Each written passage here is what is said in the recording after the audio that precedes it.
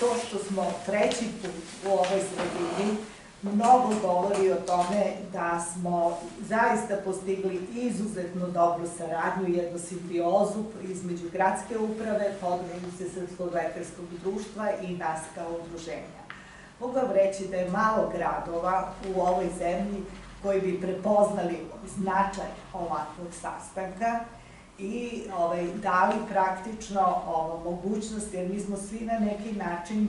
a, znači podelili odgovornost, to bi se reklo, da taj sastanak uspe. Malo je gradova koji uopšte prepoznaju da njihovi lekari, se, ako se nešto ne dešava u velikim centrima, ovaj, trebaju da imaju tu vrhunsku edukaciju baš u svojoj sredini, jer ne mogu svi da odu da se edukuju i da e, nema više, ako se svi zalažemo i pričamo o centralizaciji Srbije, onda moramo da kažemo i to da Srbija postoji ovde, tako i na jugu, i da tako ovakvi skupovi trebaju da zažive i da se i dalje drže. Ono što je posebno ove godine ovaj, značajno, za nas kao udruženje je da mi slavimo 20 godina postojanja i uspešnog rada. Smatram da je to tako, evo, lepo da su se složile kockice, da smo ponovo za 20 godina u ovom gradu i da zaista ove godine praktično možemo da kažemo što se tiče predavača, ove, imamo ekipu koja je pola-pola, a na parte se kvale, znači koliko je ljudi iz inostranstva, eminentnih predavača, koji su zaista eksperti u onim oblastima u kojima se bave, toliko je i domaćih predavača i da će se za ta tri dana čuti preko 40 predavanja. Ono što je još jedna osobenost skupa, da dajemo uvek šansu mladima, tako smo i nazvali ovaj, tu sesiju, mladi u kardionefrologiji, jer tako se najbolje uči ovaj, ovaj da kažemo, zanat, zanat po znacima navoda, što učite od najboljih, praktično.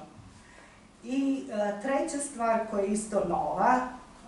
organizujemo jednu posebnu sesiju, odnosno jednu panel diskusiju u kojoj će učestvovati pacijenti koji su transplantirani, to je udruženje za transplantirane pacijente i koji će imati svoje predavanje, odnosno svoja predavanja, jer ne smemo da zaboravimo da mi postojimo u stvari zbog njih i da je dobro da i njih čujemo na ovakvim skupovima i da im ovaj, praktično što bi se reklo, ovaj, do bolje upoznamo one probleme koje oni imaju i o kojima se ta, u tom rutinskom radu ovaj, čuti. A, već i moj kolega Lilić dosta ovaj, rekao o značaju naše tematike vezane za arterijsku hipertenziju. Stavljamo je u prvi fokus, jer zaista imamo veliki problem imamo dobre lekove, imamo dobre lekare, ali još uvijek imamo velike komplikacije koje čini ova bolest i mi smo već u Srbiji došli na to da nam u radno, pazite, u radno sposobno stanovništvo imamo 50% ljudi sa arterijskom hipertenzijom. A s druge strane, pričamo o kardionefrologiji. To je prvi pokušaj, znači, i ono čime se mi ponosimo, mi smo uh, taj spoj, taj uh, tim između kardiologa i nefrologa napravili drugi u Evropi, posle Italijana, drugi u svetu, drugi, ako hoćete, i u ovoj, odnosno prvi u jugoistočnoj Evropi, i zaista bi tom timskom radu, za koji mnogo pričamo, i multidisciplinarnom pristupu, znači u lečenju, trebalo posvetiti posebnu pažnju. A bolesti i bubrega i srca su opet vezani za ono, vraćamo se na prvu temu, vezani za arterijsku hipertenziju.